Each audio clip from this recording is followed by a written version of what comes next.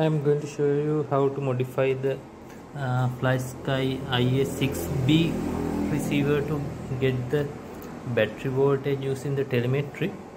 And uh, I have modified this inside.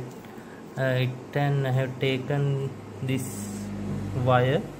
It is to be connected to the uh, battery wire like this bat, uh, battery balance board so this is a three cell battery and the same wire is connected to the multimeter and also have set up my transmitter to uh, display the battery voltage telemetry battery voltage in here and also have uh, set up it to read the battery voltage. It says 0 volts. I connected the uh, battery sensor wire to the uh, battery pack voltage that is the third uh, cell. So it shows the 11.23 in the multimeter as well as uh, 11.26 in and the telemetry and also read the same value. Now I am going to uh, change the sensor wire to the second cell.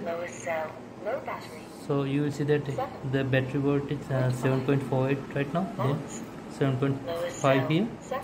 Pretty accurate. I am going to change the sensor wire to the first cell volts.